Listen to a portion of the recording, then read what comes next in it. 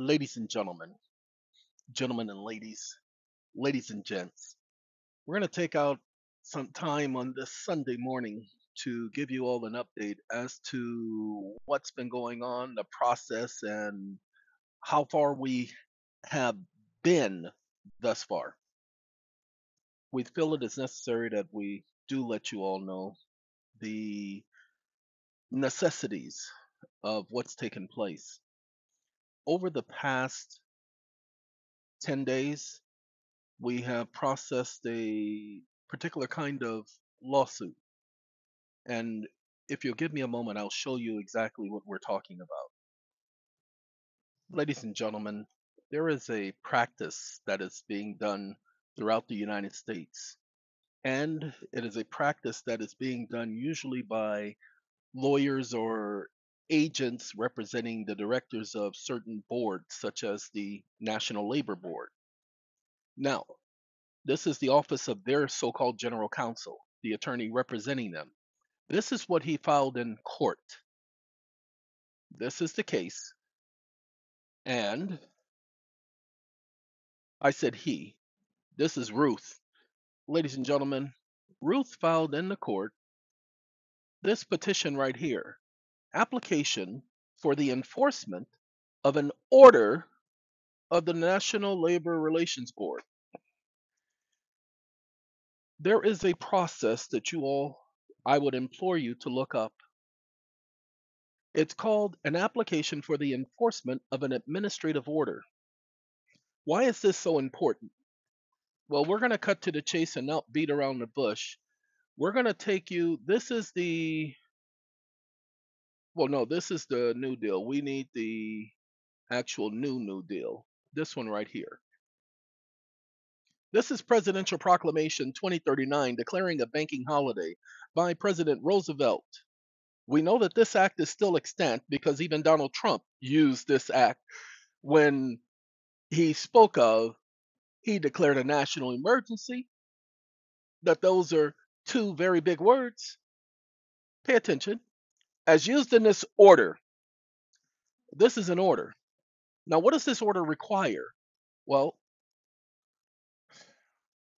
notice this. We're not looking for that. We're looking for, give me one second.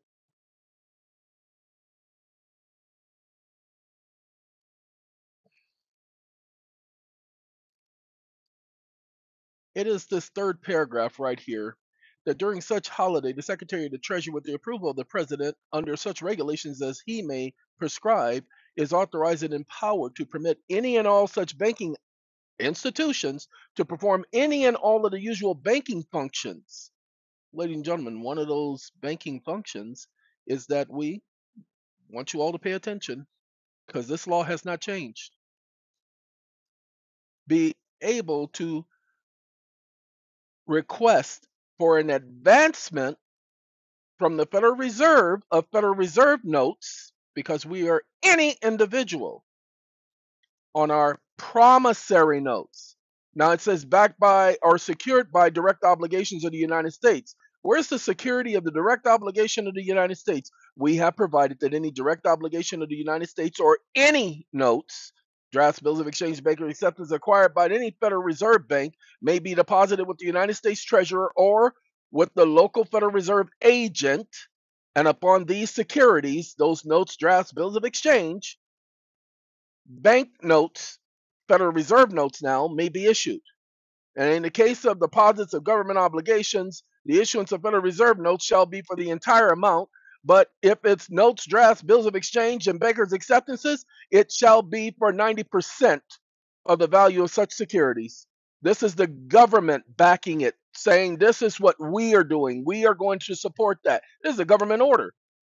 Now, wait a minute. Y'all need to understand. They're going to say, well, that's just uh, Congress. Then that's not what they're doing. That's not the law. That's what they're suggesting. Section 403 of Section 13 of the Federal Reserve Act as amended, is amended by adding the following at the end of that paragraph, which says, subject to any limitations, restrictions, or regulations as the Federal Reserve Board may be prescribed any Federal Reserve bank may make advancements to any individual partnership or corporation on a promissory note of such individuals, partnerships, or corporations secured by direct obligations of the United States. Such advances shall be made for periods not exceeding nine years.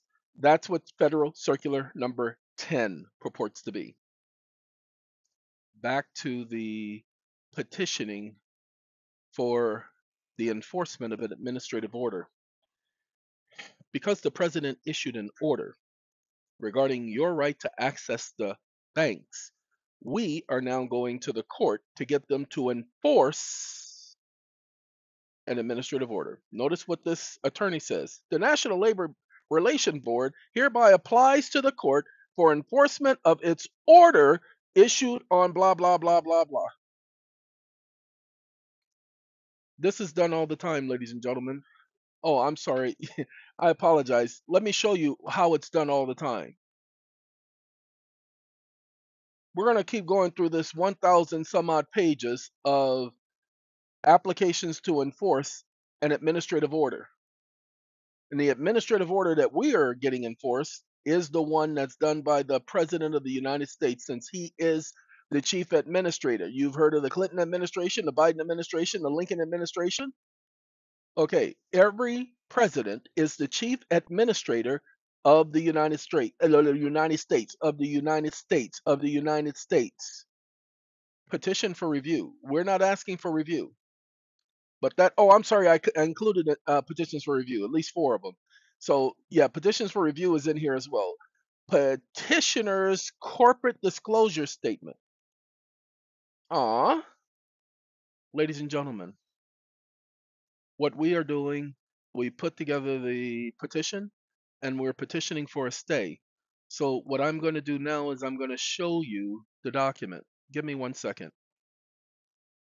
We couldn't tell you about this previously, but we're letting you know about this now. Ladies and gentlemen, we have a total of one, two, three, four, five, six parties who are parties to this particular petition.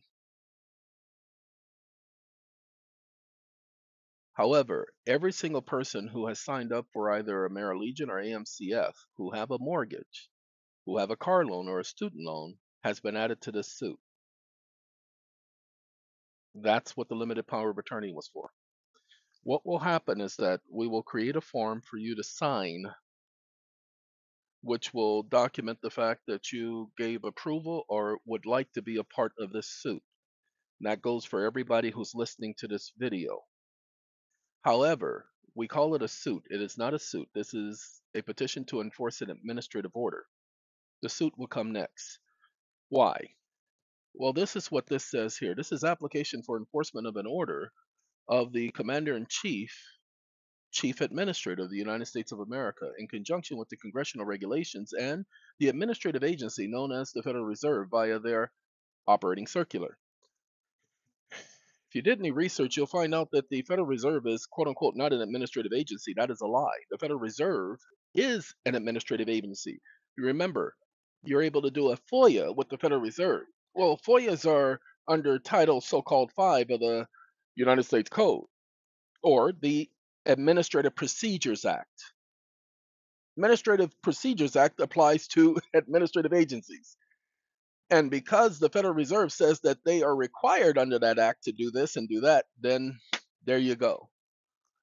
The Trading with the Enemy Act, the authority by which the President of the United States presented Proclamation 2039 on March 6, 1933, otherwise known as a banking holiday, as an order carrying with it criminal penalties for anyone who interferes with the or fails to carry out the dictates of the order.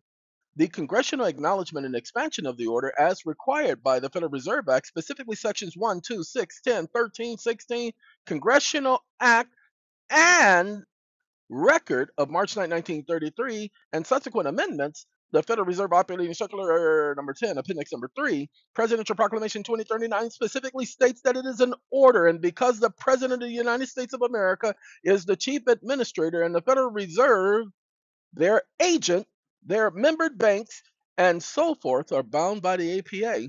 This is what they say on their website. And the petitioners have a right, uh, excuse me, have the secured right to petition the court under its judicial capacity for redress comes before this body in the interest of justice for the fair and judicious administration of justice as prescribed by the ordination ordination. We ordain the ordained the command in the constitution for the united states of america. Ladies and gentlemen electronic signature.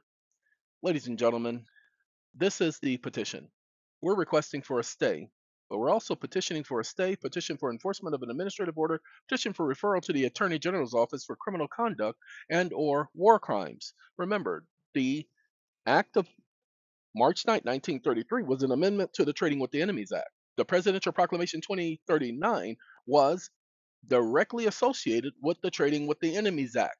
It made it unlawful for anybody We'll show it to you because it is necessary that you see what we see. The president gave this prohibition in the act.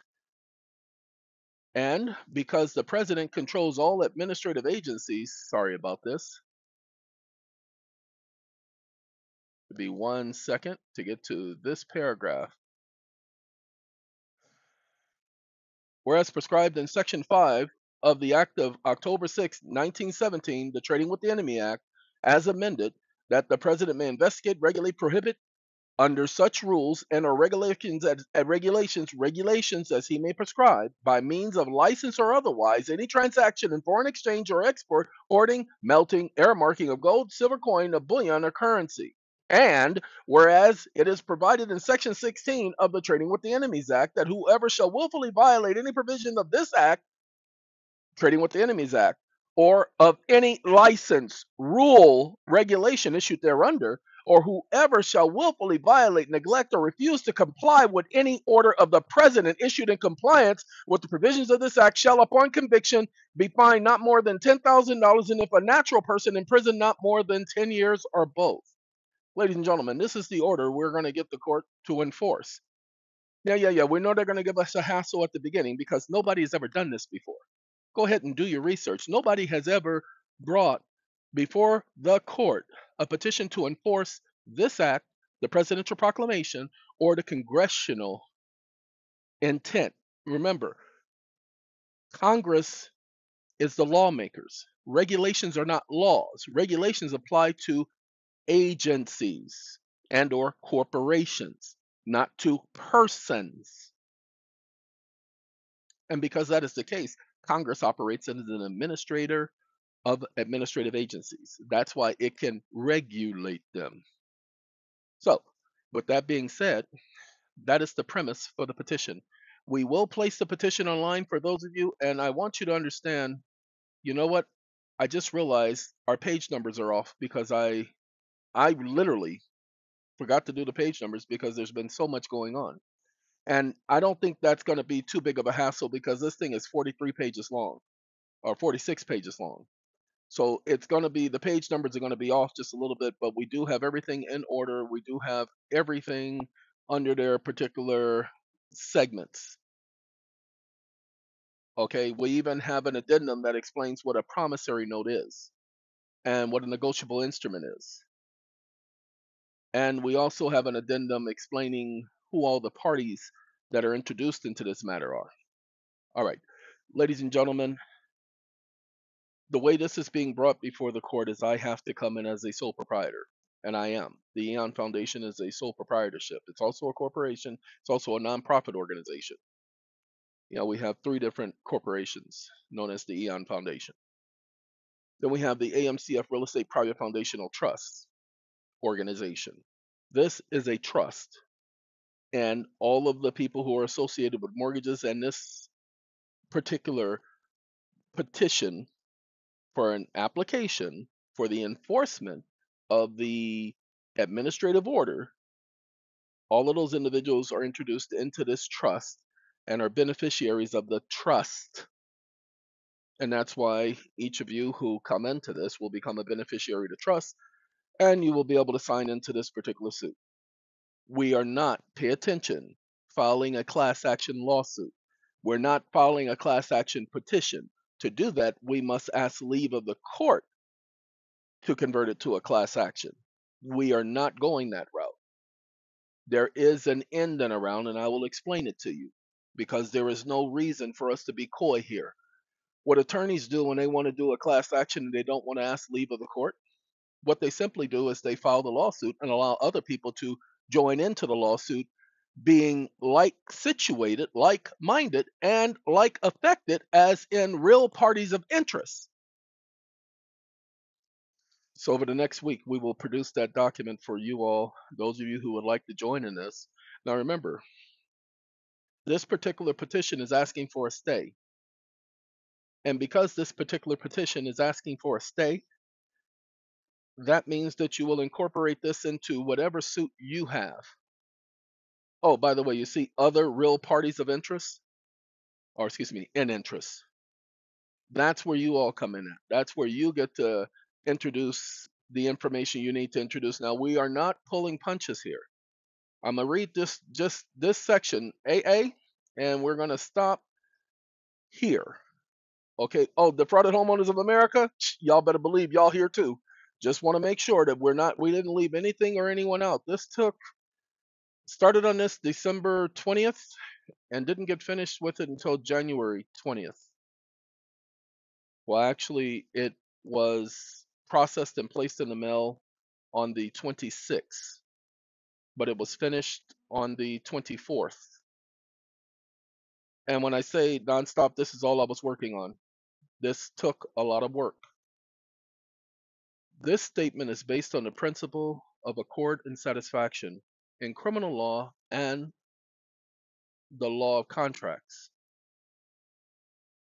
The principles of accord and satisfaction apply when a debt or an obligation is disputed and, excuse me, or in question, and the parties involved agree to a new or a different form of payment or settlement to discharge the original debt obligation.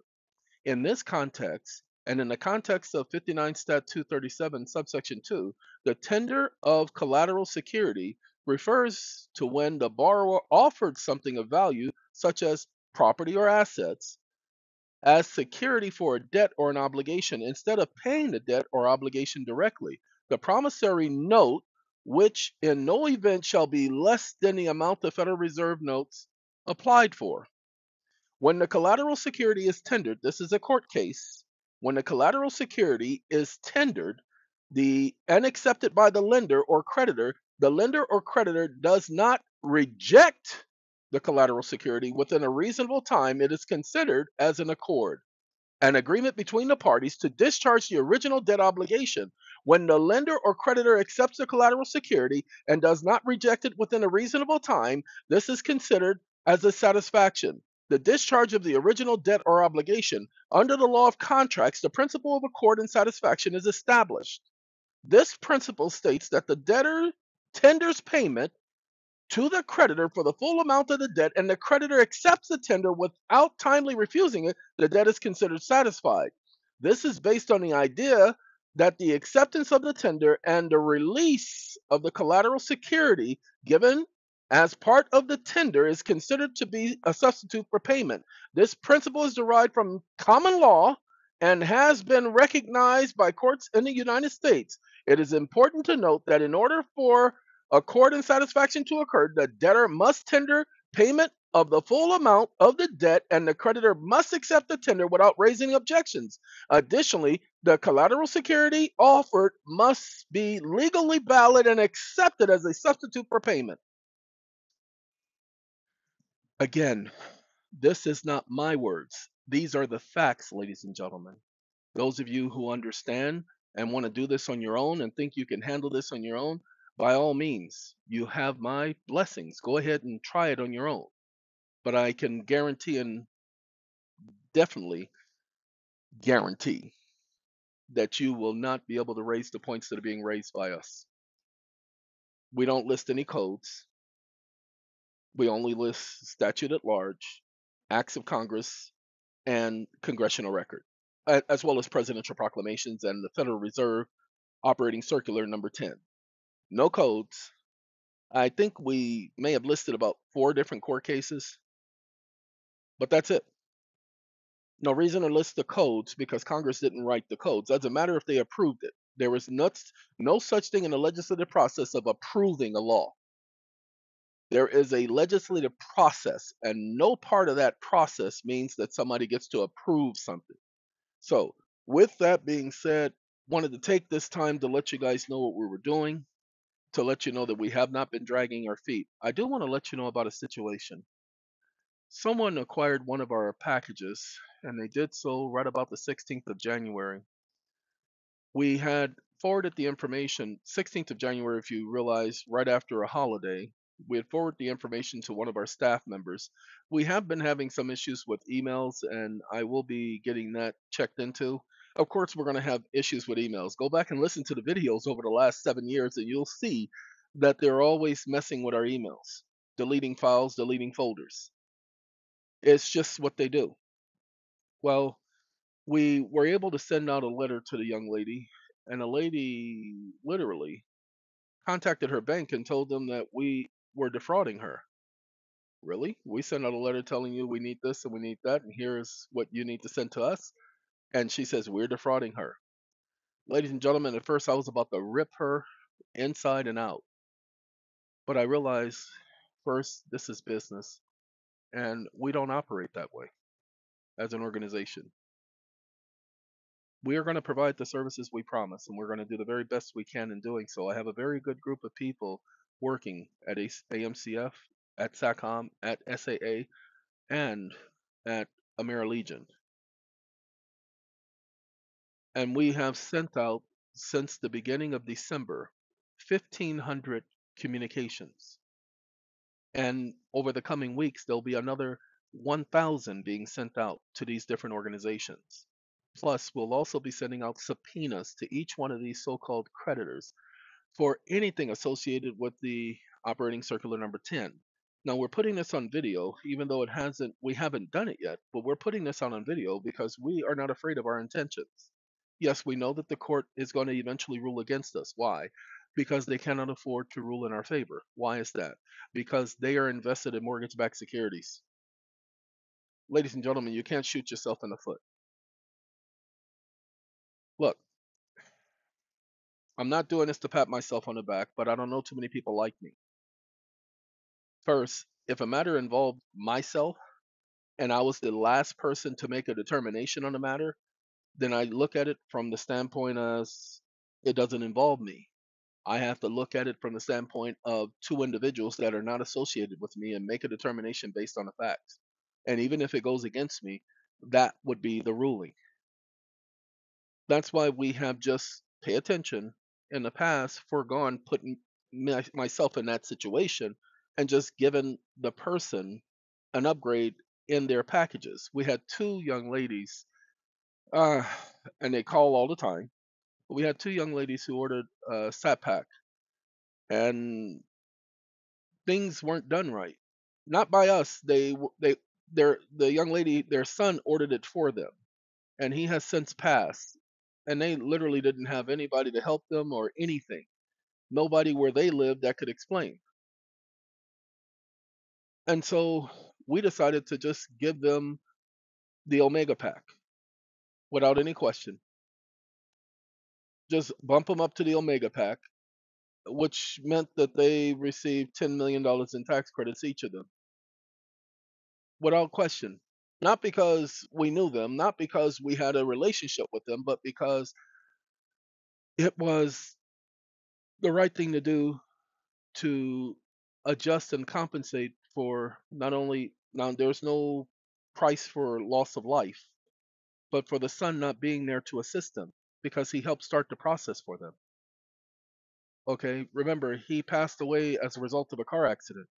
So, with that being the case, they needed some assistance. Now, we couldn't show them how to do anything or how to process anything, but we definitely could help them with the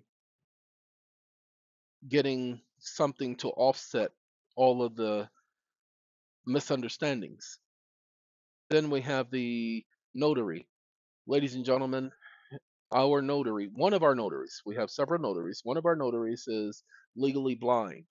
Many of you have met her, and many of you have seen how The notary is conducted with seamlessness and no issues.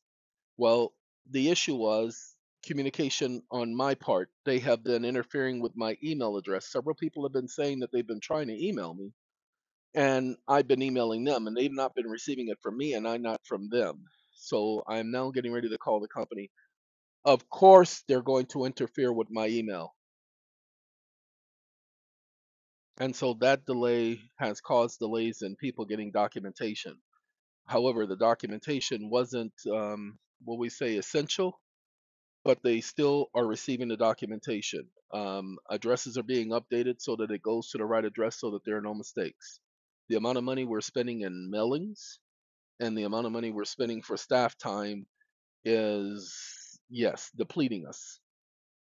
So, what I definitely wanted to make sure we get across to you is that we are not sitting around here saying, "Oh, look at that! Somebody just paid us again. Okay, I can buy this car, and then I can go buy a house." And that's not going on here.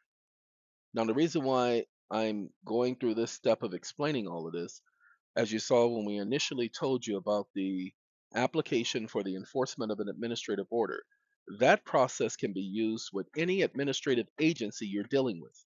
If there is a rule or a regulation that they must follow, they are bound to follow that rule or regulation. Go and take a look at what's known as the McDade Amendment. It was basically saying the Attorney General, if they have a set rule or policy in place, they must follow that rule and policy.